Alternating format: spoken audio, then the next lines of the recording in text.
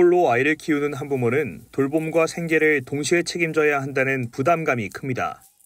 퇴소를 하고 네. 그 일을 나가야 되는데 그러면 아이를 어린이집에 보내야 되는데 자립할 수 있는 그런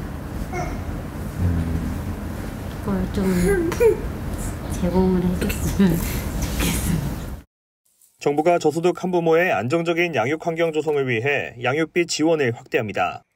저소득 한부모 가족 아동 양육비 단가를 월 23만 원으로 인상하고 24세 이하 청소년 한부모 아동 양육비 지원 금액도 자녀 1인당 월 35만 원에서 월 37만 원으로 인상합니다.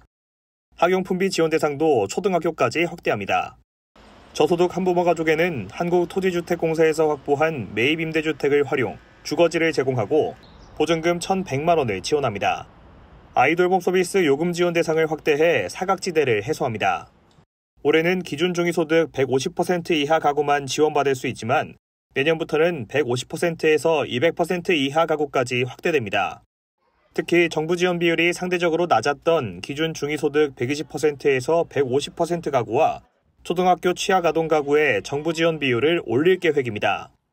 정부 지원 가구 수도 11만 가구에서 12만 가구로 확대할 예정입니다.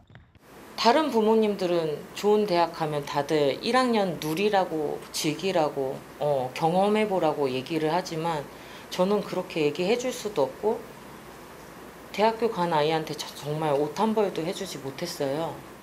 이혼 뒤 양육비를 주지 않는 부모로 인해 생활고를 겪는 한부모 가족이 늘어나는 상황.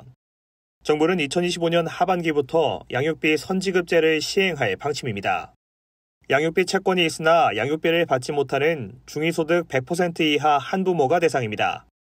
미성년 자녀 1인당 월 20만원씩 최장 18년까지 지급합니다. 또한 선지급제도 운영을 위한 전산 시스템 구축을 추진하고 총 9명의 양육비 이행관리원 직원을 충원할 계획입니다. KTV 윤현석입니다.